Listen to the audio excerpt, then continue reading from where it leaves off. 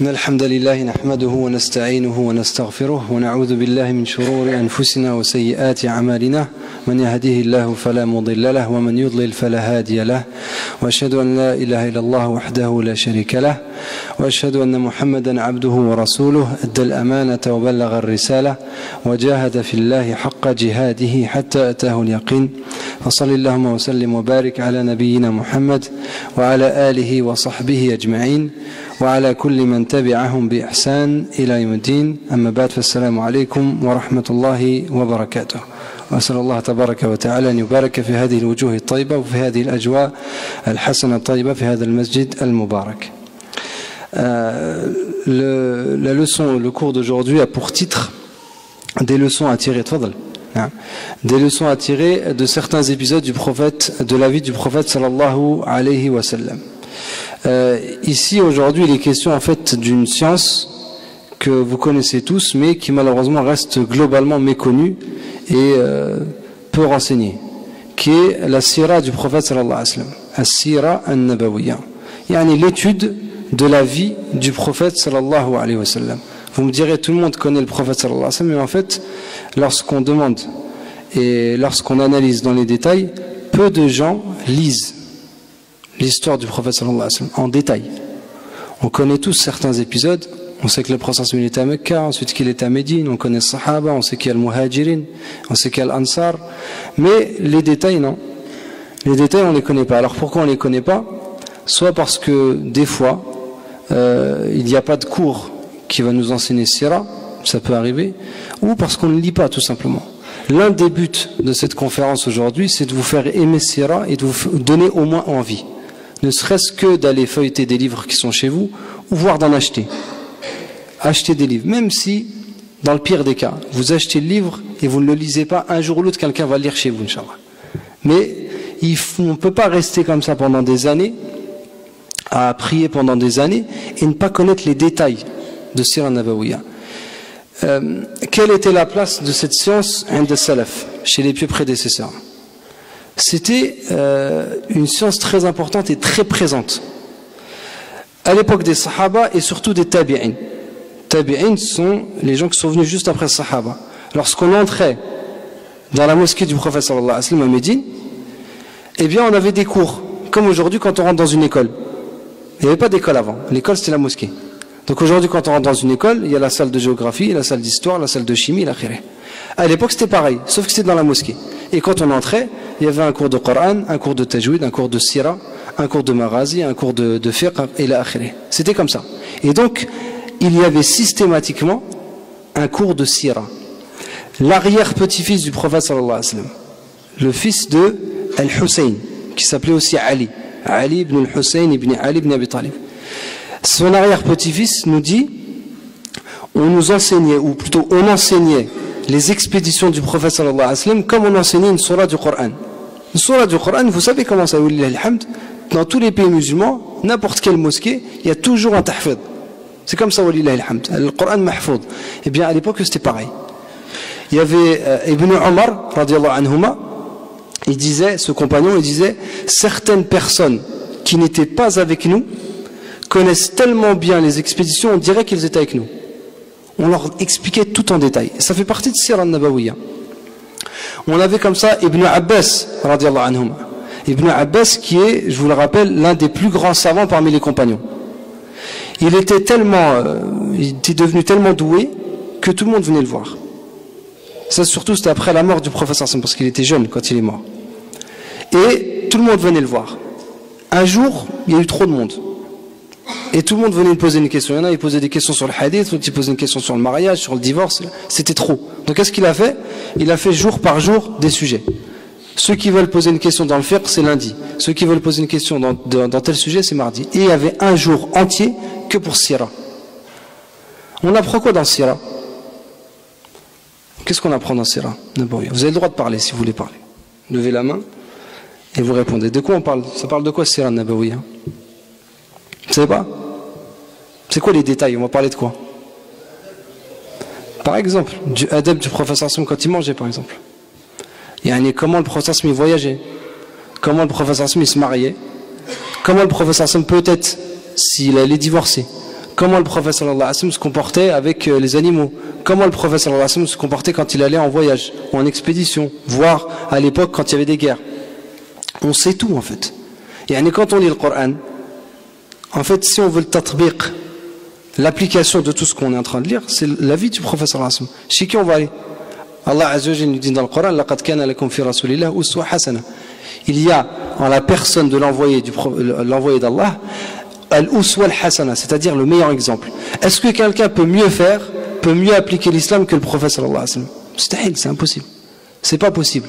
Donc si on veut nous savoir exactement comment faire, si on lit pas Sira, on lit quoi alors C'est bien, on va lire par exemple les histoires des salafs, c'est très bien. Mais avant même les salafs, il y a Sira al-Nabawiya. On peut pas ne pas faire Sira. Et aussi comprendre qui est le prophète sallallahu alayhi wa sallam d'où il vient, sa personnalité, comment il se comportait, comment il a grandi, où est-ce qu'il est né, qui sont ses parents, ses oncles, il en a ou il n'en a pas.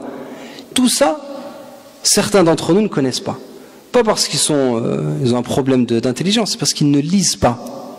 C'est tout. La seule chose qui vous a bloqué, pour certains d'entre vous, c'est parce que vous n'avez pas lu. Donc vous ne savez pas.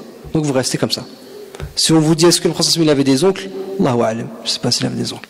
Est-ce que le professeur comment il s'est marié? À quel âge il s'est marié? Allah je ne sais pas. Euh, le professeur est-ce qu'il est déjà parti en voyage? Comment il faisait la prière pendant le voyage? Allah je ne sais pas. Il a akhiré. Pourquoi? Parce qu'on n'a pas lu. Si on ne lit pas, on ne peut pas savoir. Et aussi parce que on nous a demandé, nous, c'est un ordre d'Allah, d'aimer le Allah Comment aimer quelqu'un qu'on ne connaît pas? C'est pas possible. On ne peut pas aimer quelqu'un qu'on ne connaît pas. Quand on aime quelqu'un sur cette terre, c'est parce qu'on la connaît parce qu'on l'a apprécié, parce qu'on a vu quelque chose de bien chez elle. Bah, le professeur, on va tous l'aimer, alhamdulillah, tout le monde l'aime, mais dans le détail. Même, je vais même aller plus loin, pour raffermir le cœur et être sûr qu'Allah Azzawajal, il a bien mis la bonne, personne. On sait très bien qu'Allah Azzawajal ne peut pas se tromper, mais là, on en est sûr quand on voit ce qui s'est passé. On est sûr, on a le cœur raffermi que Naam, c'est lui, le prophète d'Allah, c'est personne d'autre. Et ça, sans sira, eh ben, il n'y a pas. lorsque le prophète sallallahu alayhi wa sallam a été envoyé en tant que prophète, même avant même qu'il soit prophète, quelle était la situation de l'Jazir al-Arabia et même on va dire même de l'Alam a à cette époque-là, il y a 1400 ans, qu'est-ce qui se passait en fait? La péninsule arabique. Pourquoi par exemple Pourquoi Allah Azzawajal a envoyé un prophète à cet endroit-là et pas un autre? Ça les ulama ils y ont réfléchi. Ça, nous, on ne peut pas se poser cette question, nous. C'est difficile pour nous. Mais les ulama, ils ont réfléchi, puis ils ont donné des suppositions. On ne peut pas tout savoir. Parce qu'Allah Azzawajal, il a des secrets qu'on ne, peut pas, pénétrer. Mais il y a des choses qu'on peut comprendre. Pourquoi cette, pourquoi cette, euh, région-là? Pourquoi pile là-bas à Mecca? Pourquoi cette famille-là? Et pourquoi pas euh, en Inde? Pourquoi pas à Byzance, qui était juste à côté? Premièrement, le Jazir al-Arabiya, il y avait une particularité. C'est qu'il n'y avait pas de grand chef. Il n'y avait pas un grand sultan. À la différence de, des grandes civilisations qui étaient à côté. Rome, c'était fini. Il restait que Byzance. Byzance, c'était puissant, Byzance. Vous aviez Fars qui était là, l'Empire perse. Vous aviez les Indiens, les, les bouddhistes, etc. Ils existaient déjà, les hindous. Mais eux, c'est vrai qu'ils étaient développés. Mais c'était déjà ancré chez eux. Ça veut dire qu'ils avaient un chef, ils avaient une religion, elle était ancrée. Venir à cet endroit-là, ça aurait été beaucoup plus difficile que le Jazir al-Arabien. Pourquoi? Parce qu'à leur époque, les Arabes qui étaient dans la péninsule, non seulement n'avaient pas de chef, mais ils n'avaient pas de religion ancrée telle que le christianisme, le judaïsme, voire même l'hindouisme et le bouddhisme. Il n'y avait pas ça. C'était des idolâtres, des gens qui adoraient des statues. Mais en vrai, c'était pas quelque chose d'ancré chez eux. C'était pas très vieux chez eux. Ils n'étaient pas, à l'origine, ils n'étaient pas idolâtres. Donc en fait, l'envoyer à cet endroit-là, c'était pour faciliter le message. Par exemple, les Arabes de l'époque, on sait qu'ils étaient idolâtres. Mais en vrai, quand on creuse et on cherche, on se rend compte que non seulement c'était très récent, que les statues, c'était quelque chose qui n'était pas ancré chez eux, et qu'ils avaient gardé ce qu'on appelle baqaya al-hanifiyya. Al-hanifiyya, c'est quoi? C'est din Ibrahim alayhi salam. Yani tawhid. Ils avaient par exemple Quraysh qui adorait des statues, en même temps, ils faisaient le Hajj. Ils faisaient l'Umrah, ils avaient même le Talbiya qui existait. Talbiya, elle existait déjà, sauf qu'il avait changé. La Baik Allahumma la Baik, la sharika lak, mais il rajoutait quoi? Illa sharikun huwa lak, tamlikuhu wa mamalak. C'était, là, c'était du shirk. C'est-à-dire qu'en fait, ils avaient les anciennes pratiques qui existaient, puis ils avaient rajouté des choses mauvaises. Ils faisaient tous tawaf. Ils avaient tous la vénération de Kaaba. Ils faisaient même siyam. Siyam Ashura, ils le faisaient à Quraysh. Donc en fait, c'était de l'idolâtrie, mais de surface. Ça a été dur le combat avec Quraysh. Professeur et les musulmans, ils ont beaucoup souffert. Mais ils auraient beaucoup plus souffert là-bas, dans d'autres endroits, comme euh, les Perses. Et puis aussi, des régions comme euh, l'Empire perse, c'était des, régions où la civilisation commençait en fait à, arriver à un, niveau en fait de comment dire euh, de débauche. Par exemple, les empereurs perses, ils préféraient se marier avec leurs enfants plutôt qu'aller prendre une femme. Yazdajar al-Thani, qui était l'empereur perse, il était marié avec sa fille. avaient des... L'arabe, ils n'avaient pas ça, abadan. Ça n'existait pas chez, eux. Chez les, Arabes de l'Algérie, l'Arabia, abadan, c'était impossible de leur faire dire ça. Non seulement ils n'avaient pas ça, mais ils avaient encore le sens de l'honneur, le sens de la parole. Par exemple, le sens de la parole. Le shahada, le d'accord, le fait de, témoigner avec la bouche, même dans le fiqh, c'était aqwa min al-kitaba. C'est c'est-à-dire que à l'époque et jusqu'à pas très longtemps, pour un alim musulman, c'était plus fort de témoigner avec la bouche plutôt que d'écrire. Aujourd'hui, c'est le contraire. Aujourd'hui, quand il y a un contrat, pour être sûr, pour pas qu'il y ait de problème, il faut que tout le monde écrive tout, tous les détails. Sinon, il y a des problèmes. À l'époque, c'était le contraire. Ça, ça vient d'où? C'est de l'arabe de l'époque. Ils étaient comme ça. Ils ne plaisantaient pas avec le kalam. Donc, en fait, si Allah a choisi cet endroit-là, ce n'est pas pour rien. C'est pour toutes ces raisons-là. Il n'y a pas de sultan, il n'y a pas de grand chef, donc il n'y a pas d'autorité à combattre dès le départ. Il n'y a pas. Il y a le fait aussi que ce soit Mecca. Mecca, malgré le fait qu'elle était remplie d'idolâtrie, c'était pas fait pour ça. Ibrahim salam et Ismaël salam, quand ils l'ont construit, ils l'ont pas construit pour ça. Et puis c'est venu petit à petit. Et même à l'intérieur de Mecca, il y avait encore des gens qui étaient à la Ibrahim, comme Waraqa ibn Nawfal, même s'il était plus massihi que, que Hanafi. Yani Hanafi dans le sens euh, dîne Ibrahim. Euh, même les gens qui étaient à la Mecque n'étaient pas tous idolâtres. Et même à l'intérieur de l'Jazira al-Arabia, tout le monde n'était pas idolâtre. Bref, c'était l'endroit, euh, le meilleur endroit possible pour envoyer un prophète. Ensuite, pourquoi Mecca? Parce que le Jazir al-Arabia, c'est ce que je viens de dire, ça, ça concerne tout le Jazir al-Arabia. Pourquoi le Jazir al-Arabia À votre avis savez pas Ça, on peut le comprendre avec l'année de naissance du prophète sallallahu alayhi wa. Ce qu'on appelle Hadithatul Fil. Hadithat al-Fil. C'est ce qui s'est passé avec Abraha. Abraha, c'est qui C'est un, roi du Yémen, le roi yéménite. D'accord Ce roi yéménite était jaloux de Kaaba. Pourquoi il était jaloux?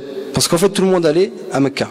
Tous les pèlerins, tout le monde, même ceux de chez lui, ils allaient y remonter à Mecca pour aller faire le pèlerinage. Et lui, il était jaloux. Lui, il voulait quoi? Il voulait lui aussi un endroit que tout le monde vienne. Comme ça, ils font le pèlerinage chez lui. Et puis en même temps, il y a de l'argent, il y a de l'argent à la clé parce que tout le monde va dépenser. Donc qu'est-ce qu'il fait? C'est un Masihi, lui, c'est un, c'est un chrétien. Il construit une énorme église qu'il appelle Al-Qulais. Très belle église. Et un arabe idolâtre de la tribu de Kanana, Banu Kanana, il apprend que Abraha a construit une, Kaaba, euh, une, église pour concurrencer le Kaaba. Chez les Arabes, le Kaaba c'était sacré. On ne peut pas s'amuser avec ça. On ne peut pas concurrencer le Kaaba. Donc qu'est-ce qu'il fait? Il arrive dans l'église dans et il fait ses besoins dans l'église. Et il salit toute l'église. Abraha, quand il entend ça, ce roi-là, il se met très en colère et il décide de détruire la Kaaba, une bonne fois pour toutes. il réunit une armée et surtout il réunit quoi? Des éléphants. C'est pour ça qu'on dit surat al-fil dans le Coran. Donc il ramène plusieurs éléphants. Les Arabes, ils n'ont jamais vu d'éléphants. D'où il ramène les éléphants? D'Afrique. Parce que le roi du Yémen, en fait, il était affilié à l'Habash, à l'Éthiopie actuelle. Bref, il les ramène et il avance vers le nord. Alors pourquoi c'est important ça? Parce qu'en fait, Abraha, sur la route, il détruit tout. Il détruit tout le monde. Toutes les tribus qui résistent sont détruites. Et donc il avance, il pille, il tue, il a Et ils arrivent, ils arrivent, ils arrivent, ils arrivent pas loin de Mecca. Et quand ils arrivent pas loin de Mecca, ils volent, Abraha, ils volent 200 chameaux au grand-père du prophète. Quand il lui vole 200 chameaux, il voit Abdul Muttalib venir. Quand Abraha il voit ça, il voit le chef de la Mecque, parce que le grand-père du wa sallam, c'était le chef de la Mecque. Quand il voit le chef de la Mecque arriver, il se dit, khalas, il vient négocier, réédition, la, la Mecque est pour moi. Mais Abdul Muttalib n'est pas du tout là pour ça. Abdul Muttalib, il vient simplement demander les 200 chameaux. Il dit Tu m'as volé 200 chameaux, rends-les-moi. Abraha lui dit Je viens détruire la Kaaba, ton temple, votre temple, et tu me parles de 200 chameaux. Et là, Abdul Muttalib lui dit Cette Kaaba a un Seigneur qui va la protéger. C'était des croyants en Allah. Et quand on dit que c'était des mouchriks et qu'ils avaient des statues, mais ils avaient toujours Allahumma. Ils disaient Ar-Rahman, Ar-Rahim. Pour eux Allah Azzawajal, c'est lui qui les avait mis et c'est lui qui a rendu sacré le Kaaba. Abraha, quand il voit ça, il dit On verra bien. Le lendemain, quand l'armée se met en route pour détruire la Kaaba, vous connaissez l'histoire, les, éléphants n'avancent plus. À chaque fois qu'ils veulent avancer, les faire avancer vers la Kaaba, ils se bloquent. Ils ne veulent pas. Quand ils vont par là, par là ou par là, ils partent en courant. Et Allah Azzawajal, qu'est-ce qu'il envoie? Il envoie des, oiseaux et dans leurs pattes, il y, a tous, il y a des pierres et quand les pierres touchent l'armée, les, gens se déchiquetent. Comme si c'était ma'koul, comme si c'était mangé. Yani déchiqueté. Et toute l'armée d'Abraha a été détruite, lui avec. Et pourquoi c'est important ça? Parce que depuis ce jour-là, pour les Arabes de toute la péninsule, Quraysh Sha'bullah al-Mukhtar. C'est un peu comme le peuple élu. Ça veut dire tout ce qu'ils font, c'est un modèle. C'est pour ça que bien plus tard, bien plus tard, quand, euh, quand le prophète sallallahu alayhi va conquérir la Mecque, le jour où il conquiert la Mecque et que Quraysh se convertit, tout le monde se convertit. Pourquoi? Parce que c'était devenu le modèle Quraysh. C'était eux les plus importants. Et ça, c'était l'année de naissance du prophète Le prophète est né l'année de l'éléphant. On l'a appelé comme ça. C'est devenu quelque chose de tellement, tellement important qu'on l'appelait l'année de l'éléphant. Donc le prophète sallallahu alayhi naît déjà dans une année exceptionnelle. Puis lorsqu'il naît, il y a beaucoup de choses qui se passent. On ne peut pas parler de tout. On va parler de Sirah Nabayum, mais on va parler de quelques épisodes. C'est juste, encore une fois, pour vous donner comme ça des grands titres. Lorsque naît le prophète alayhi wa sallam, il naît pas dans n'importe quelle famille. Il naît dans la famille de Banu Hashim. Banu Hashim, le prophète lui-même dit que Allah a choisi Kinana des enfants d'Ismaël et qu'il a choisi dans Kinana Quraysh et qu'ensuite il a choisi chez Quraysh Banu Hashim et il l'a choisi lui chez Banu Hashim. فهو خيار من خيار من خيار يعني le prophète c'est le meilleur du meilleur du meilleur du meilleur يعني si on cherche à savoir quelle était la, la, la tribu la plus noble et celle qui remontait directement au prophète Ismaël et Adam salam, c'était Quraysh. Et chez Quraysh, c'était Banu Hashim. À quoi ça sert ça À quoi ça sert que le prophète soit d'une extrême noblesse?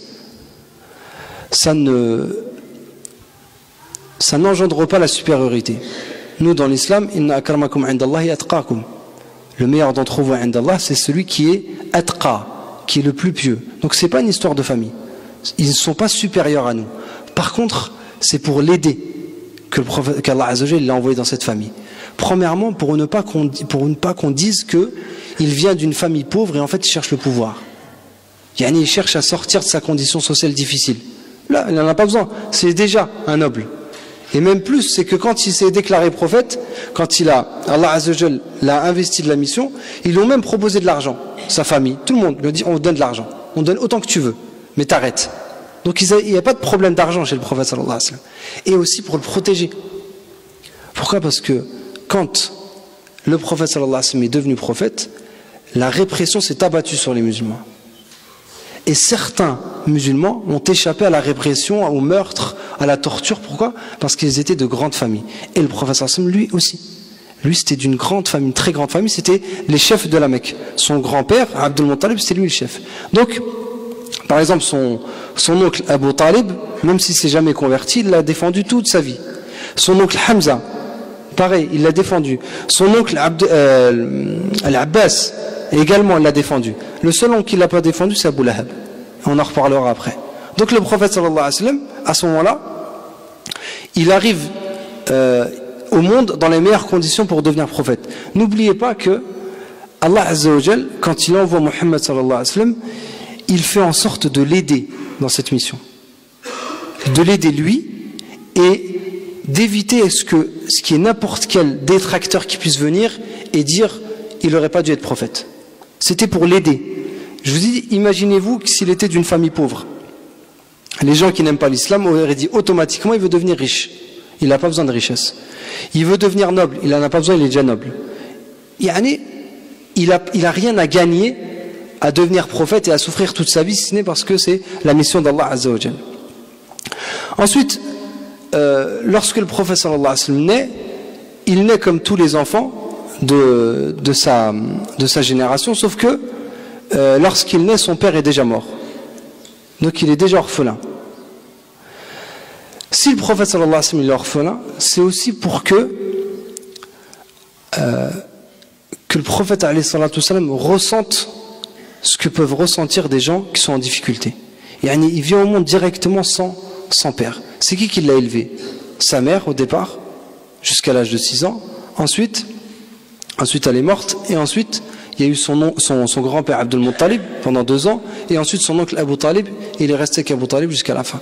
Donc il n'a pas connu de père. Et là aussi, c'est pour éviter que certaines personnes puissent dire il a tout appris de son père. Personne qui l'a il y a pas son, père, il n'est pas là toute la journée à lui expliquer ce qu'il faut faire.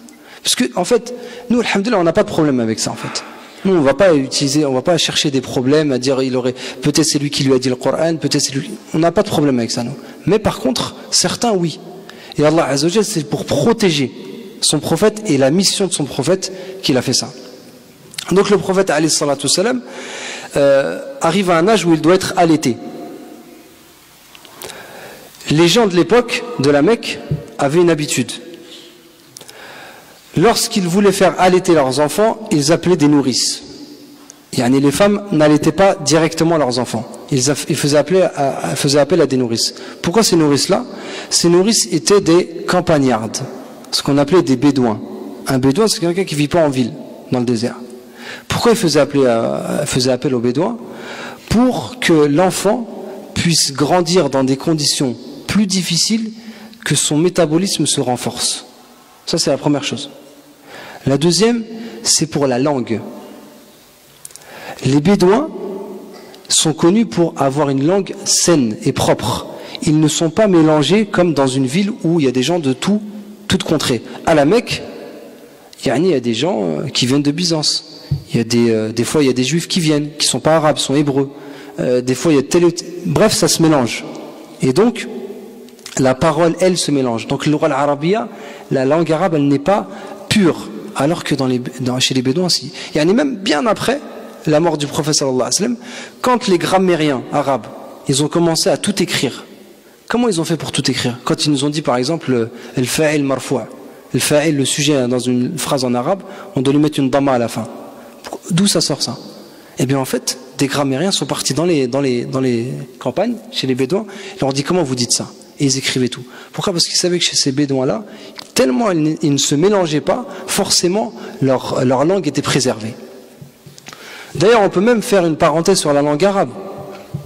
Pourquoi la langue arabe? Pourquoi Allah Azzawajal descend, euh, fait révéler son, dernier livre en langue arabe? Qu'est-ce qui fait que la langue arabe a cette supériorité qui fait que euh, le message coranique va être dans sa langue? Il y a plein de suppositions, parmi lesquelles, et celle-là elle a l'air plausible, Adam alayhi salam, quand Allah Azzawajal l'a envoyé sur terre, Allah il a enseigné à Adam salam le nom de toute chose. Il est dit chez beaucoup de savants que la langue de Adam salam est parfaite. C'était la meilleure possible sur terre. Pourquoi Parce qu'Allah directement lui a pris Cette langue-là, ensuite elle a évolué, elle est partie. Pourquoi Parce que les enfants de Adam se sont éparpillés. Et puis chacun a commencé à créer un dialecte. Il y a eu des petites altérations, etc. Et donc ça a changé. Jusque-là, rien de, rien de grave. Sauf que, avec le temps, ça a trop changé. Et en fait, les langues, petit à petit, sont devenues totalement indépendantes de la langue originelle, qui était la meilleure langue possible. Sauf l'arabia. L'arabia, les linguistes disent, il y a comme une exception, comme un espèce de miracle qui s'est passé avec la langue arabe. Elle est restée cantonnée pendant des siècles juste dans le Jazira, l'arabia. Et même plus que ça, les arabes ne sont pas mélangés. Donc en fait, la langue arabe, c'est la langue la plus proche de la langue originelle, la plus parfaite de Adam salam. Et donc Allah Azzawajal l'a descendu. Par exemple, euh, le système des harakats, système des harakat des voyelles. En arabe, on a une lettre, on appuie comme ça, ba, et puis on rajoute une haraka. Cette haraka-là, en fait, toutes les langues avaient ça avant. Mais avec le changement, ça, c'est parti. Comme l'hébreu, l'araméen, ils ont enlevé ça, ils ont changé. Et comme ils ont changé, ça a altéré. Ils sont devenus très loin de la langue originelle. Donc, c'est l'une des raisons qui fait que Allah a choisi la langue de euh, l'oral arabia. Donc, le prophète sallallahu alayhi wa sallam, euh, est envoyé dans le désert. Mais quand il est envoyé dans le désert, la tradition c'était quoi? C'était que quand il y avait des petits enfants, des nourrissons, on les présentait comme ça, et il y avait des nourrices qui venaient de toutes les contrées, et elles choisissaient l'enfant. Par contre, quand elles choisissaient l'enfant, toutes les femmes faisaient bien attention de choisir un enfant avec un père riche, pour des raisons évidentes, pour avoir de l'argent. Sauf que le professeur, lui, son, père est mort, c'est un orphelin. Donc personne ne veut. Personne ne veut. Et quand il arrive, quand, quand elles arrivent, les nourrices, elles choisissent tous les enfants, sauf le prophète. Et en fait, il reste tout à la fin lui tout seul. Toutes les femmes ont pris, et il reste une femme qui s'appelait Halima, Sa'adiyya, qui venait de la tribu de, la tribu de Banu Sa'ad. Elle voit cet enfant tout seul, et elle a elle a, comment dire, elle a, un peu pitié de l'enfant. Elle dit, je peux pas le laisser. C'est vrai, il n'a pas de père, mais allez, je vais le prendre. Je, vais être mal payé. Il n'y aura pas beaucoup d'argent, mais allez, je vais le prendre. Et elle prend le prophète sallallahu alayhi wa sallam. Elle a tout à gagner en fait. Et elle va tout gagner en fait en faisant ça. Pourquoi? Parce que quand elle prend le prophète sallallahu alayhi wa sallam, toute la période où le prophète sallallahu alayhi wa sallam était là, Banu Sa'ad, cette tribu qui était pauvre, qui n'avait pas beaucoup d'argent, s'est retrouvée avec une baraka sans fin par exemple, lorsque le professeur arrive chez Banu Saad, ils avaient quelques chèvres sans lait, il n'y avait plus rien. Quand ils arrivent, alhamdoulilah, les pieds sont remplis. Et puis, il y a plein de, il y a plein de lait. Ils avaient de la baraka du début à la fin. Jamais ça s'est arrêté, jusqu'à ce qu'elle rende le prophète sallallahu alayhi wa des années plus tard. Et ça, c'est Banu Saad. Et d'ailleurs, subhanallah, même Banu Saad, la tribu là, de Banu Saad, chez les linguistes arabes, ils disent c'est eux qui avaient la langue la plus pure. C'est-à-dire que même chez les Arabes, il y avait pur et très pur. Eux, c'était encore les plus purs, Banu Sa'ad. Donc le prophète sallallahu alayhi wa sallam arrive à un endroit où son métabolisme, son corps va se renforcer dans le désert, sa langue arabe va, euh, va se purifier et va, il va grandir directement avec la vraie langue arabe et puis il va avoir al-baraka du début à la fin. Et surtout, c'est Halima Sa'adiya va voir ça. D'ailleurs, il y aura un épisode. À quel moment elle va, va arrêter de, l'allaiter et de le garder? À l'épisode de ce qu'on appelle Shaq sadr cet épisode-là, c'est quoi? C'est le professeur, c'était déjà un petit garçonnet et euh, il jouait avec les enfants. ils étaient là, ils étaient déjà des bergers. Le professeur il a été berger. Comme il dit, professeur dit tous les prophètes ont été bergers. lui aussi, il a été berger. Et il s'amusait avec les enfants. Et ce jour-là, il y a deux anges qui viennent et qui plaquent le prophète qui est un tout petit enfant. Ils le plaquent par terre, ils l'ouvrent, ils lui ouvrent la poitrine, ils sortent le cœur. Du cœur, ils sortent comme une espèce de caillot de sang, ils lavent le cœur dans un, dans un récipient avec l'eau de zemzem et ils remettent le qalb et ils ferment. Taban, les enfants qui étaient à côté, ils étaient terrifiés quand ils ont vu ça. Ils ne savaient pas ce qui se passait. Et donc ils sont partis en courant voir Halim Sa'adia, lui dire voilà ce qui s'est passé. Et ce jour-là, elle a eu très peur. Parce que c'était, il était à sa charge, l'enfant. Donc elle a dit à partir de ce jour-là, elle l'a rendu à sa mère et c'en était fini de l'allaitement de Halim Sa'adia avec le prophète sallallahu alayhi wa sallam. Et puis ensuite, le prophète grandit. Il grandit dans des conditions difficiles. Pourquoi? Parce que sa mère meurt. Quand sa mère meurt, c'est son grand-père qui, qui, se porte garant pour lui, qui l'élève, Abdul Muttalib. Et puis Abdul Muttalib meurt rapidement. Et le prend en charge Abu Talib. Sauf que Abu Talib, qui est le père de Ali, anhu, Abu Talib était très pauvre. Il était tellement pauvre que le processus a dû travailler pour l'aider. Et même, bien plus tard, il a pris son fils Ali sous son aile. Yani, le professeur sallallahu sallam, est chez Abu Talib. D'accord? Abu Talib est pauvre. Le professeur me disait je, faisais le berger à la qararit min ahli Mecca. Yani, je, je, faisais le berger, on me donnait quelques, pièces. C'est les gens de la Mecque. Pour aider son oncle. Et cet oncle-là, c'est le père de Ali, anhu. Quand le professeur va se marier, il va avoir sa maison, il va prendre en charge Ali tellement c'est difficile pour Abu Talib. Mais Abu Talib l'aime énormément et, d'ailleurs ça va, se vérifier puisque jusqu'à la fin de sa vie il va défendre le prophète sallallahu alayhi wa sallam. Arrive un âge, le prophète se marie. Comment se passe ce mariage? Vous savez tous que c'est la première femme du prophète sallallahu alayhi wa sallam, c'est Khadija radiallahu. C'est quasiment la femme la plus importante du prophète sallallahu alayhi. Et la particularité d'ailleurs, c'est quoi? C'est que le professeur n'a été polygame qu'après sa mort. Le professeur il a eu beaucoup de femmes. Pas en même temps, mais en tout, il a eu beaucoup de femmes. Il y a eu des moments où il était, évidemment, il avait plusieurs femmes en même temps. Mais, à l'époque de, de Khadija, anha, toute sa vie avec elle, il n'a pas été polygame. Et même plus que ça, tous ses enfants viennent de Khadija.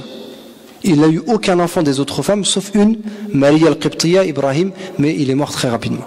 Bref, c'est une femme très très importante. Elle était tellement importante que même après sa mort, Aïcha était jalouse de Khadija. Il y a de la mémoire de Khadija. Parce que c'était quelqu'un très important. Et d'ailleurs, cette femme a été l'un des piliers, l'un des soutiens les plus, les plus importants du professeur Sam dans sa mission. Comment il s'est marié avec elle? Khadija anha était une riche femme commerçante de la Mecque. Elle était veuve. Elle avait déjà été mariée avant et euh, elle avait plus de mari. Et elle avait de l'argent. Et qu'est-ce qu'elle faisait? Les gens travaillaient pour elle. Elle donnait de l'argent et puis les gens ils allaient acheter, vendre, etc. pour elle. Et le prophète il l'a fait. Il l'a fait aussi. Il a travaillé pour elle. Et quand il a travaillé pour elle, l'homme de confiance de, Khadija, qui était son employé, a vu le comportement de Mohammed Ma'abdillah. Quand il a vu ça, il a dit, il, en a parlé directement à Khadija. Et tous les gens, par exemple, tous les chefs de la Mecque qui voulaient se marier avec Khadija, c'était une femme noble, connue, euh, de, riches familles. C'était vraiment c'était quelqu'un d'exceptionnel, Khadija. Et tous les riches de la Mecque la voulaient, mais elle disait non, elle voulait pas. Et quand elle a entendu parler de Mohammed, son akhlaq, directement elle a demandé. Et puis elle a commencé à demander à son oncle, l'Abbas, etc., avec Hamza. Et puis ils ont fait les rencontres et ils se sont mariés. Et Khadija, anha, euh, elle était plus âgée que le professeur Tout le monde le sait. Certains disent beaucoup, comme une quinzaine d'années. Il y a des, certains ulama disent un peu moins. Mais en tout cas, ce qui est sûr, c'est qu'elle était plus âgée. Et regardez même le professeur regardez comment il se marie. Il se marie avec une femme qui est veuve, donc qui a déjà été mariée, plus âgée que lui, plus riche que lui. Ça n'a pas posé de problème. Mais allez, pourquoi? Parce que c'est une femme bien. Je me souviens d'un ami à nous qui voulait se marier avec euh, aujourd'hui, qui voulait se marier avec euh, une femme qui était un peu plus âgée et qui, qui était réticent. Et un cheikh lui a dit, mais il a dit, pourquoi tu, hésites? Si c'est une femme bien, c'est pas grave qu'elle ait 5, 6 ans de plus. Même si, traditionnellement, un petit peu, ça se fait pas trop, c'est pas très bien vu, etc. Mais en vrai, c'est pas grave. Et la preuve, le il l'a fait. Et cette femme, ça, s'est vérifié, cette femme a été l'un des plus grands soutiens du prophète. Le jour où Jibril vient le voir faire Hira, quand il descend, il descend tremblant, il tremble, il sait pas quoi faire, il se couvre, il a très peur de ce qu'il ne sait pas ce qui se passe. Il y a un ange qui est venu, qui l'a serré trois fois, il a failli mourir d'étouffement de, quand il a serré Jibril salam. Et quand il redescend chez lui, il redescend terrifié, il sait pas quoi faire. Qu'est-ce qu'elle lui dit Khadija? La abadan. Il dit n'aie pas peur, Allah jamais va t'abandonner. Ça a été un soutien énorme. Et l'année où elle est morte, comment on l'appelait l'année de sa mort? L'année de la tristesse. Donc ça a été quelqu'un de très très important. Et ça ne l'a pas gêné qu'elle soit plus riche, plus âgée et qui a été mariée avant. Ça fait beaucoup quand même. Hein. Quand on sait des fois que certains, leurs critères, il faut que ceci, il faut que cela, il faut qu'elle ait moins. Là, si elle est bien, elle est bien, point la ligne. On se marie avec elle. Euh, le prophète sallallahu alayhi wa sallam grandit donc euh, dans la cité de la Mecque et il se mélange. Il reste pas à part. Tout le monde le connaît. Il n'est pas à part dans la, cité. Mais ça ne veut pas dire qu'il faisait les choses haram. Pourquoi nous d'ailleurs, les musulmans, c'est ce qu'on nous demande? Est-ce qu'on nous demande, nous, de faire les ermites tout en haut de la montagne? Il nous a dit, il ne faut pas faire ça. Prophète nous a dit, mélangez-vous. Allez à l'intérieur des villes. Mélangez-vous. Par contre, les choses haram, vous ne les faites pas, c'est tout. Et faites-vous connaître, mais dans le bien. Prophète c'était ça, en fait, à la Mecque. Tout le monde le connaissait et vous savez tous c'était quoi son surnom. Sadiq al-Amin. Le véridique, l'homme de confiance. Et ça s'est vérifié le jour où il y a eu une inondation à la, Mecque. La Kaaba a été inondée et partiellement détruite. Quand elle a été détruite, les gens de, de, ont décidé de la reconstruire, évidemment. Mais quand ils l'ont fait, déjà premièrement, on peut faire une parenthèse, quand ils l'ont fait, c'est passé une chose importante. Les gens de la Mecque faisaient beaucoup de choses haram. Les deux grandes activités haram connues étaient la prostitution et le riba. Il y avait beaucoup, beaucoup malheureusement de prostitution et il y avait beaucoup de riba. Riba, vous savez ce que c'est? C'est les intérêts. Ils prêtaient de l'argent aux gens, les riches, mais quoi? Prêtaient de l'argent aux gens et leur disaient tu me rends plus. Je te prête 100, tu me rends 110. Et ils faisaient quelque chose qui était encore pire, qu'on appelle riba nasi'a, et c'est le, le, pire des riba, qui était demain tu me rends 110, mais si demain tu me rends pas 110, tu me rends 150. Et tu me dois 150. C'est-à-dire ça augmentait avec le temps. Ça, c'est le pire. Ça, c'était haram. Évidemment, c'est haram ici, mais même chez eux, c'était pas bien en vrai. Et ils le savaient. Pourquoi? Parce que quand ils ont, construit, ils ont reconstruit la Kaaba, ils ont dû réunir de l'argent. Mais quand ils ont réuni de l'argent, comme ils savaient que c'était haram, ils savaient que c'était pas bien. C'était pas des musulmans. Mais ils ont dit quoi? Ils ont dit on va réunir de l'argent, mais par contre, l'argent de la prostitution, et l'argent du riba, on n'en veut pas. Et ils ont même eu du mal à avoir de l'argent, tellement leur argent était, mélangé avec le haram. Parenthèse fermée. Quand euh, ils ont reconstruit la Kaaba, ils ont construit, ils ont construit, arrive un moment où ils devaient placer la pierre noire. La pierre noire, vous savez ce que c'est? Cette pierre qui est, aujourd'hui, elle est collée à la Kaaba, qu'on embrasse quand on fait le, Hajj ou le Umrah, on fait le Tawaf. Le Quraysh était composé de plein de familles. Et toutes ces familles voulaient avoir l'honneur de placer la, pierre noire. Ça peut se comprendre. Leur problème à eux, c'est qu'un rien faisait qu'ils pouvaient faire, se faire la guerre. Et en fait, ils ont commencé à se disputer. C'est toi, non, c'est moi, c'est moi, c'est toi, etc. Donc qu'est-ce qu'ils ont fait? Ils se sont tous disputés. Ils sont allés jusqu'à ramener un récipient de sang et ils ont tous plongé leurs mains dans le sang. Ils faisaient ça en fait avant une guerre. Il y en a pour dire c'est la dernière, euh, c'est la dernière limite. Si on ne trouve pas demain matin, on se fait la guerre. Donc c'était arrivé jusqu'à ce point-là. Donc en fait, Quraysh était sur le point de se détruire elle-même. Et ils ont dit khalas. Et la Kaaba, elle était comme ça. Et toute la ville de la Mecque était euh, construite autour de, la Kaaba. Donc toutes les rues donnaient sur la Kaaba. Et ils étaient tous devant la Kaaba, ils ont dit khalas, on arrête. Le premier qui vient là, qui sort, c'est lui qui va nous départager. Et le premier qui sort, c'est qui? C'est Mohammed ibn Abdullah, c'est le prophète sallallahu alayhi wa sallam. Quand ils le voient, les gens de la Mecque, tout le monde est content. Tout le monde est content quand ils le voient. Parce qu'ils le connaissent. Mais c'est pour ça que je vous dis qu'il faut se mélanger en fait. Parce qu'ils ne pouvaient pas le connaître si ce n'était pas mélangé. C'est dur de se mélanger, mais il faut le faire. Et il faut résister. Bref, ils voient tous le professeur ils sont tous contents et tout le monde dit en cœur Ha amin.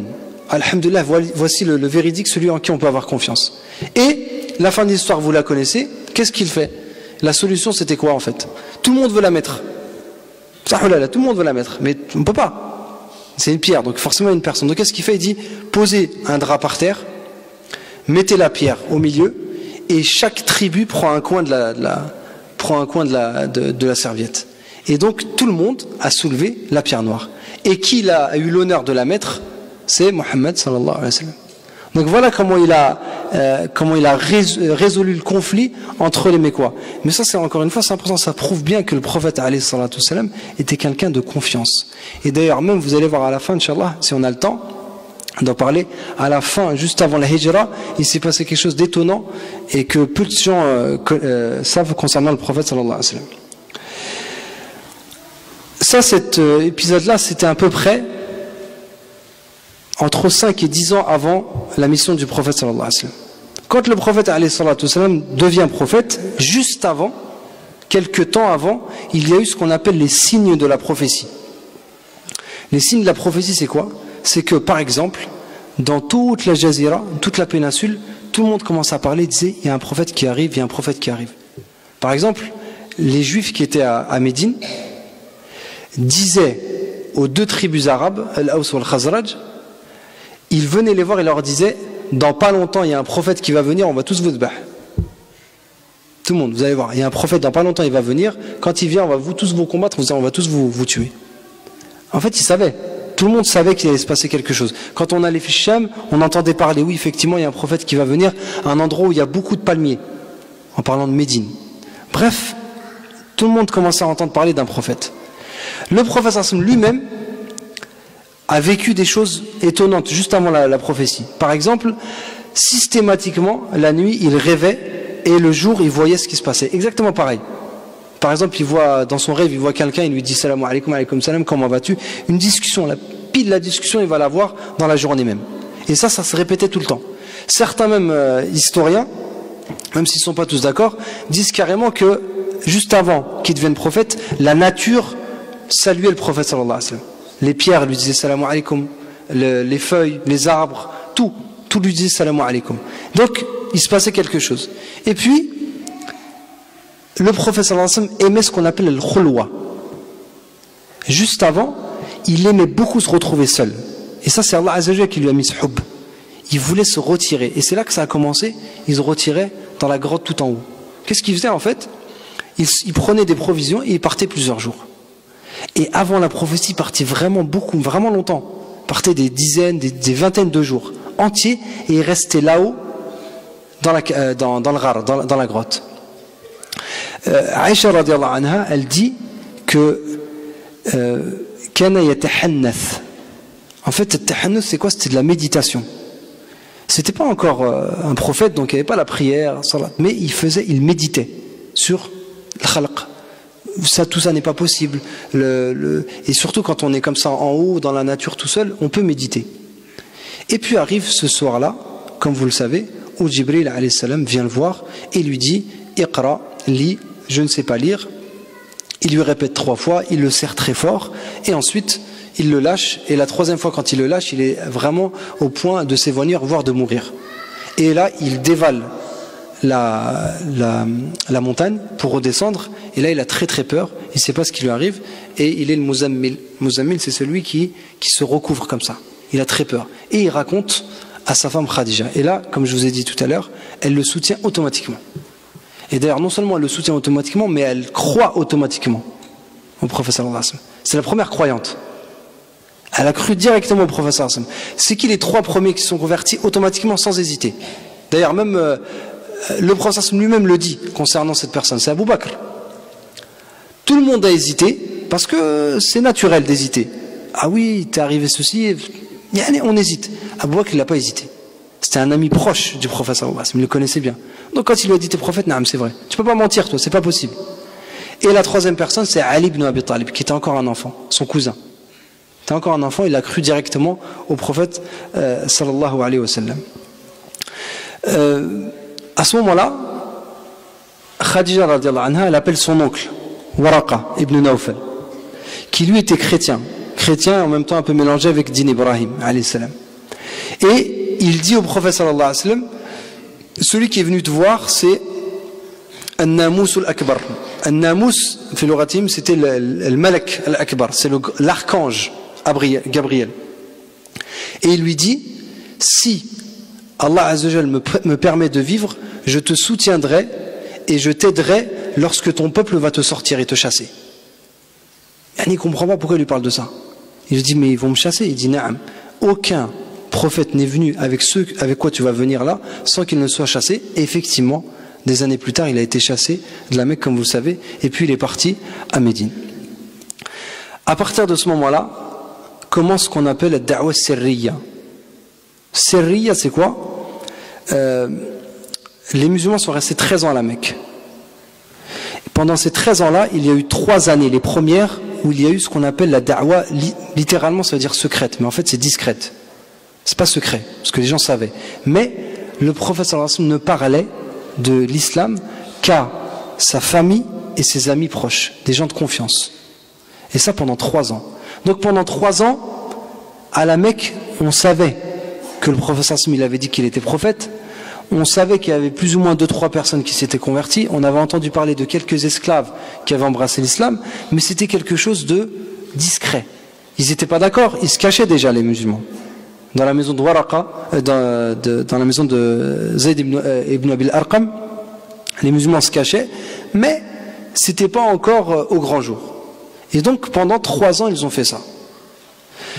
Da'wa sirriya, le fait d'être discret comme ça, nous les musulmans, on n'est pas censés faire da'wa comme ça.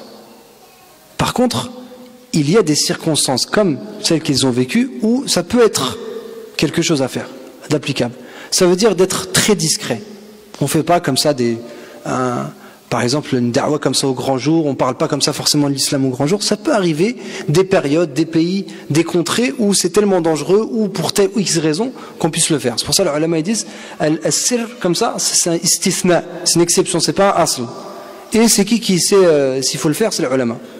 Il faut demander aux ulama est-ce qu'on a le droit de le faire. Parce que normalement, musulman n'est pas censé cacher que c'est un musulman. Cache pas. On n'a pas honte d'être musulman. On dit, je suis musulman. Mais à cette époque-là, c'était particulier. Au bout de ces trois ans-là, il se passe quelque chose, euh, un événement, qui est le basculement de la da'wa discrète à la da'wa au grand jour. Et ça a été euh, instauré à la faveur d'un événement qui est que le prophète sallallahu alayhi wa sallam monte sur le mont Safa et crie le matin Wa sabaha Ya ma'ashara Quraysh. Donc qu'est-ce qu'il fait? Il a la Mecque et le matin il monte sur Safa. Vous savez c'est quoi Safa? Safa Marwa. D'accord? Quand on fait le, Hajj et le Umrah, on fait le, circuit entre Safa Marwa, les deux monticules. il monte sur Safa, il crie Wa sabaha ya ma'ashara Quraysh. Et là, les gens ils entendent. Ils entendent sa voix, ils reconnaissent sa voix. La Mecque, c'est une petite ville à ce moment-là. Donc quand on crie, tout le monde entend. Et tout le monde se réunit. Tout le monde vient. Tout le monde se rassemble. Et là, on a toutes les tribus. Il appelle les tribus. Il dit Yabani Hashim, Yabani Abdeddar, Yabani Yabani. Il les appelle tous. Et là, qu'est-ce qui se passe? La scène, c'est que lui, le prophète, il est, en haut, il est en hauteur, et eux, ils sont tous en bas comme ça. Et ils ne voient pas ce qui se passe là. Et il leur dit si je vous disais maintenant, si je vous informais que derrière moi, il y a une armée qui va vous attaquer tout de suite ou tout à l'heure. Est-ce que vous allez me croire? Et tout le monde répond d'un seul homme, Bella, bien sûr. Ils disent jamais t'as menti. Donc si tu nous dis, c'est que c'est vrai. Et il leur dit, eh bien, je viens vous avertir d'un châtiment très proche. Et il leur dit, la ilaha dites la ilaha. Il leur explique l'islam. À ce moment-là, quand il fait ça, personne ne parle. Personne, sauf une personne. Son oncle. Son oncle, par contre, qui était un ennemi de l'islam et qui est resté ennemi de l'islam, Abu Lahab. Et Abu Lahab, il dit quoi? Il dit Tabban laka sa'ira al-yawm jama'atana. Tabban, c'est une insulte. En fait, il lui dit euh, Malheur à toi, est-ce que c'est pour ça que tu nous as, tu nous as réunis? Et là, le professeur Allah, il répond pas. Il répond pas. Pourquoi? Parce qu'il a du adab, c'est son oncle. C'est son oncle paternel. C'est le frère de son père. Il répond pas. Il ne dit rien. C'est qui qui a répondu? Pour le sallam. Allah azza wa Tabbat yada abi lahab.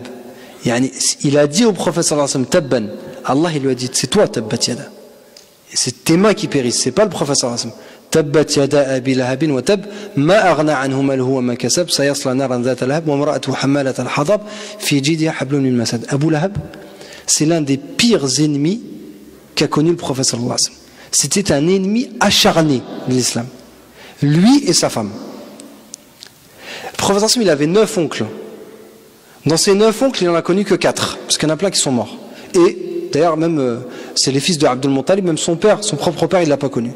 Il y avait quatre oncles qui restaient. Il y avait l'Abbas, Hamza, Abu Talib et Abu Lahab. L'Abbas et Hamza, ils se sont convertis. Hamza, tout au début. Tout au début, il s'est converti. L'Abbas, il s'est converti vers la fin. Abu Talib, il s'est jamais converti, mais il a, défendu le prophète jusqu'à la mort. Et Abu Lahab, pas du tout. Abu Lahab, il ne sait pas du tout toute sa journée, il l'a passé à dénigrer et combattre le prophète. Mais quand je vous dis acharné, c'est acharné. C'était tout le temps. son nom, c'est pas Abu Lahab. Vous savez, les Arabes à l'époque, quand euh, un Arabe aimait qu'on l'appelle Abu, Abu, c'est un surnom. Les gens, c'est pas leur prénom Abu. Par exemple, quelqu'un s'appelle euh, Abdurrahim, on va l'appeler Abu Abdurrahman. Ce Abu, c'était un surnom que les Arabes aimaient. C'est-à-dire quelqu'un, on l'appelait comme ça, et pour lui, c'était un honneur. La question qu'on peut se poser, c'est pourquoi Allah Azzawajal lui dit Tabbat yada Abi Lahab. Allah, il l'appelle Abu Lahab. C'est pas pour, pour l'honorer qu'il dit ça, Allah Azzawajal. C'est parce que son prénom, c'était du shirk. Il s'appelait Abdul Uzza. Allah, il va pas l'appeler Abdul Uzza dans le Coran. Abdul Uzza, c'est le serviteur de l'Uzza, de la statue. Et Allah, il ne peut pas l'appeler euh, le, le, fils de l'Uzza, le, le, serviteur de l'Uzza. Donc Allah, il l'a appelé Tabbat Yada Abi Lahab. Et là, Allah, il dit quoi sur, euh, sur le, dans le Coran? Il dit qu'Allah Azzawajal, c'est lui qui défend les croyants. Regardez, le sallam, il n'a rien fait. Je vous ai dit, il n'a pas répondu. Et celui qui lui a répondu, c'est Allah Azzawajal. Et non, comment il a répondu? Il a répondu par, un, par, un, par une surah qu'on va réciter, la Yom el Qiyamah, où on dit que tel homme a péri, lui et sa femme. C'est terrible, yani. C'est une réponse terrible pour lui. Mais c'est une, défense aussi incroyable pour le wa sallam. Et c'est comme ça les croyants. Il y a des choses qui peuvent nous attrister, il y a des choses, on peut nous attaquer, injustement ou pas, etc. Mais je parle islamiquement parlant. Mais ne pas oublier que si bi'idnillah on est mustaqim Allah, Allah il va nous défendre. Même si nous on ne fait pas. On doit faire quand même. Mais même si on ne fait pas bi'idnillah, et surtout si on ne peut pas répondre. Bi'idnillah, Allah Azzawajal il va répondre pour nous. Et regardez cette surah, Tabbat yada abil lahab. Tabbat yada, Allah Azzawajal il dit Tabbat yada, il n'y a que les deux mains d'Abu Lahab périssent. C'est-à-dire quoi l'yad? C'est en fait l'amal. Tout ce qu'il a fait à Abu c'est perdu pour lui. En plus, Abu Lahab, c'était quelqu'un très riche. C'est-à-dire qu'il avait de l'argent, il a créé tout le monde, tout le monde l'aimait, Abu Lahab. C'était un grand chef de la Mecque. Mais Allah Azzawajal lui dit tout ça, tabbat. Wa tabba toute sa personne, tabbat. Tabbat yada wa huwa tab. Et en plus, dans, dans le tafsir, vous trouvez même que le mot tabba, quand vous le tournez comme ça, vous mettez la première lettre, la deuxième, et ça fait betta. Betta, c'est quoi? Ça veut dire qata'a. C'est-à-dire que ce mot là qu'Allah Azzawajal l'a utilisé dans tous ses sens, même si on change les, lettres, ça a un sens de, dureté. Couper, euh, périr, mourir, khusran, perdre. Et ça, c'est le hal de Abu Lahab. D'ailleurs, il y, a même, il y a même certains ulama qui disent que après, après la révélation de cette surah, Abu Lahab, était connu dans la ville pour être tout quelqu'un de cité, qu'on aimait bien. Tiens, Abu Lahab il est là, Abu Lahab ceci, Abu Lahab cela. Depuis cette surah, plus rien. Comme si Allah avait coupé même sa réputation. Plus rien. Peut pas, subhanallah Personne n'a parlé sauf lui. Il y avait plein de gens qui n'étaient pas d'accord hein, avec le prophète, mais c'est le seul qui parle. Et il n'a pas fait que ça. Tout son argent et ses enfants tout ce qu'il a, parce qu'il avait beaucoup d'enfants, surtout des fils, tout ça, ça lui servira à rien. Pourquoi? Parce qu'un jour il a dit, si ce que mon, mon neveu dit est vrai, si ce qu'il dit est vrai, eh bien, je sacrifie mes enfants, mon argent, pour qu'Allah Azzawajal ne me, ne me châtie pas yom al-qiyamah. Il avait des phrases comme ça. Mais Allah Azzawajal dit, T'as beau dire ça, mais ça sert à rien. Yom al-qiyamah, tes enfants, ton argent, tout ce que tu veux, ne servira à rien. Ça, c'est dans le dunya, ça. Ça, c'est ce qui va lui arriver fait dunya تب وتبت اليد اي ما أغنى عنه ما هو ما كسب. مي في الآخرة سي با فيني سيصلى نارا ذات لهب. سا سي في الآخرة. اي فا بغولي دون لو فو سيغتو علماء يديز سيوشوا والعياذ بالله. يوشوا كم دون سيت دنيا بور لا فيوند غريي سيصلى نارا ذات لهب. وامرأته حمالة الحطب سا sa femme qui s'appelait Umm Jamil Arwa bint Harb. C'était la fille le, la sœur pardon de Abu Sufyan le chef de la Mecque de l'époque. Sa femme était une femme acharnée contre le prophète et ça c'est rare les couples comme ça acharnés. Il n'y en a pas eu beaucoup. C'est aussi pour ça qu'Allah Azzawajal a descendu sur le malheur. Parce que c'est comme si euh, tout le monde s'était mis d'accord sur le haram. Ça peut arriver que quelqu'un fasse une erreur tout seul mais dans sa famille, la femme n'est pas d'accord, l'enfant n'est pas d'accord. Là, tout le monde était d'accord. Donc c'est comme si toute cette maison était de toute façon perdue et maudite. Et Allah Azzawajal, il parle de sa femme, il dit quoi? Il dit hammalat al-hatab. Hammalat al-hatab, c'est celle qui porte des fardeaux, du bois. Pourquoi elle porte du bois en fait? Cette femme, non seulement passait sa journée à mentir sur le prophète sallallahu alayhi wa sallam, à calomnier le professeur à, le à médire contre lui, mais également elle cherchait en fait du bois, des fois des épines, des branches, c'est ce qu'elle faisait avec Elle brûlait ça sur le chemin du professeur comme ça quand il avance, ça le gêne. C'est agile de faire ça. Vous imaginez comment elle est acharnée? Il y en avait d'autres qui croyaient pas au professeur Abu Sofiane, le chef de la Mecque, qui ne croyait pas. Il n'était pas d'accord, mais il ne faisait pas ça elle, elle faisait exprès de mettre sur le chemin du processus des épines. Comme ça, quand il marche, il trébuche et ça le pique et ça lui fait, mal. Et, lui et son mari, elle et son mari, pardon.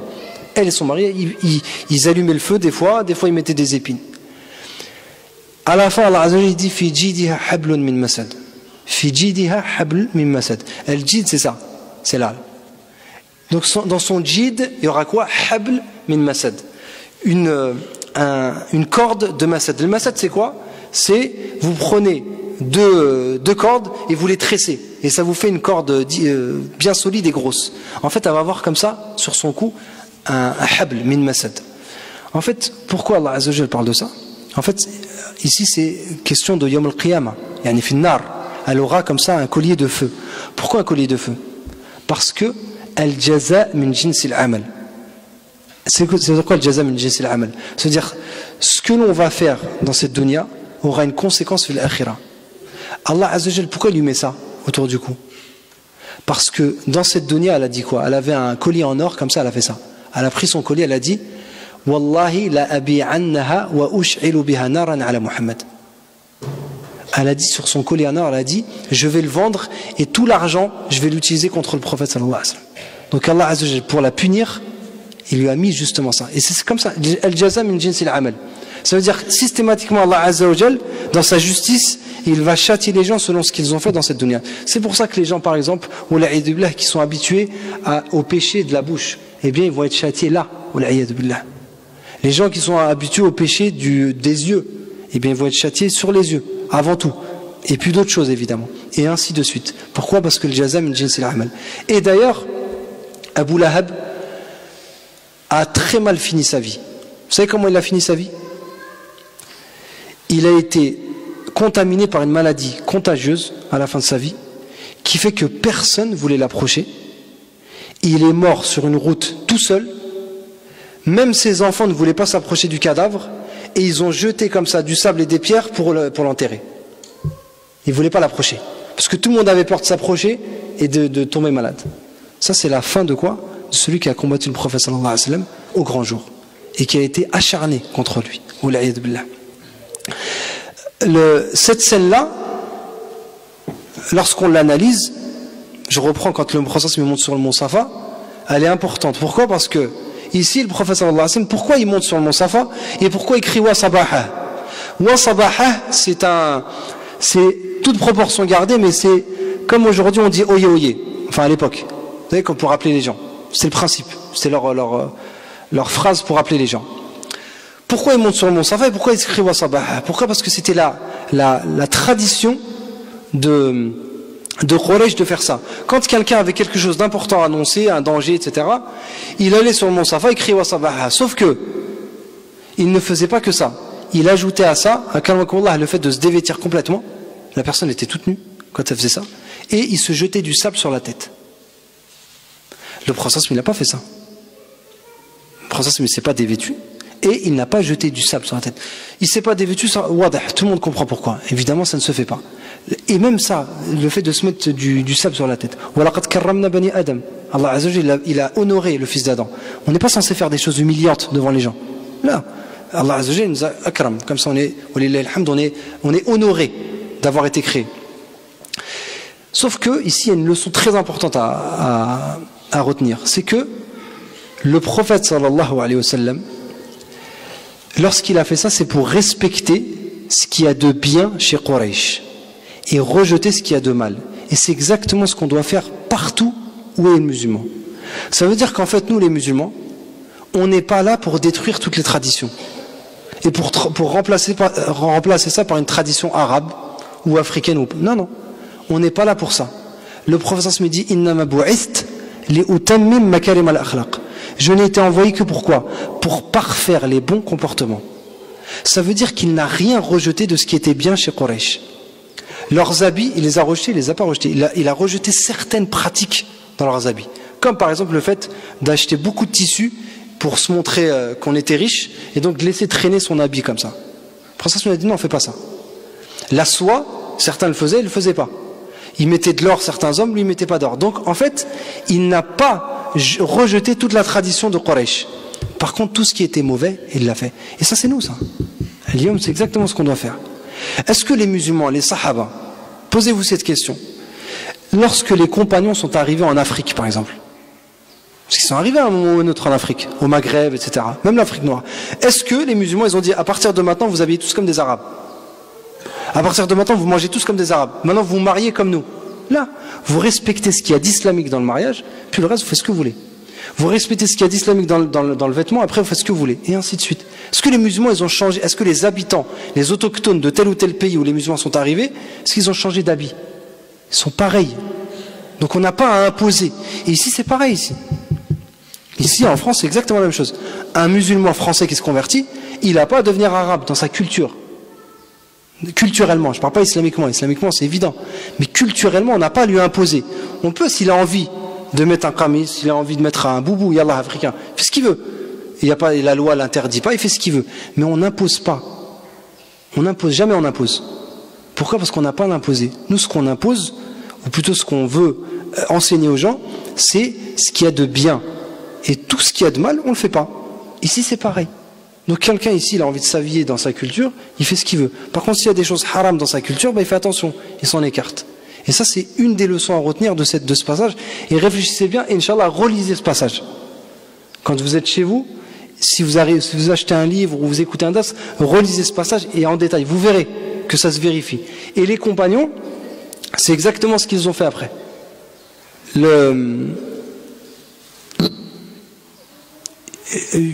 Il y a eu euh, quelques années une collecte d'une association musulmane alors, euh, ce qu'ils ont fait, c'est très bien. Franchement, je ne dis pas ça pour les critiquer, vraiment pas.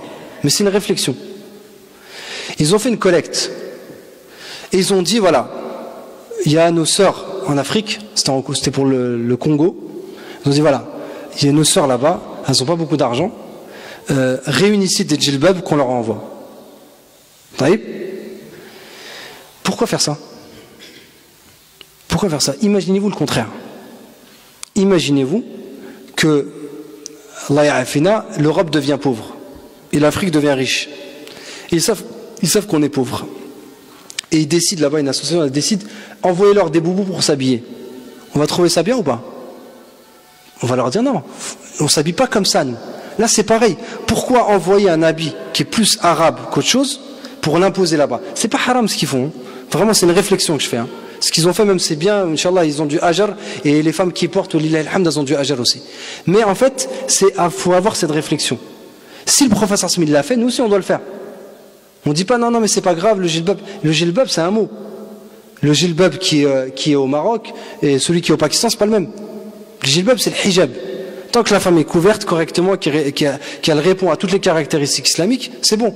Est-ce que les Pakistanais doivent s'habiller comme nous, les Arabes? Est-ce que les Arabes doivent s'habiller comme les Pakistanais Non. Chacun s'habille comme il veut, il remplit simplement des caractéristiques. Donc, c'est juste une petite réflexion, et ceux qui ont fait ça, jazakumullah khair. Euh, on va peut-être naqtasir, Inch'Allah, parce qu'il reste, euh, il reste beaucoup. Euh, il reste beaucoup à dire, parce que Sirah Nabawiya, c'est long.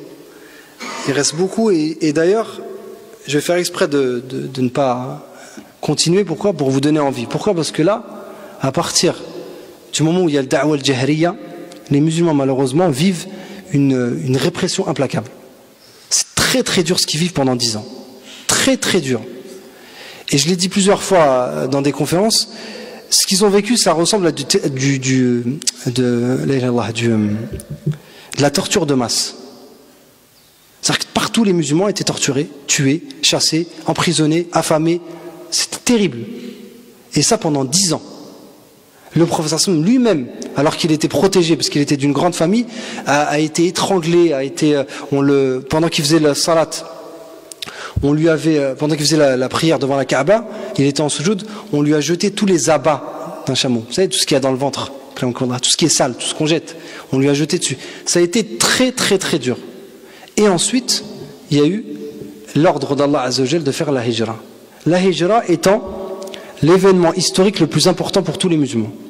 C'est à partir de ce jour-là où les musulmans sont devenus indépendants et ils ont pu se développer.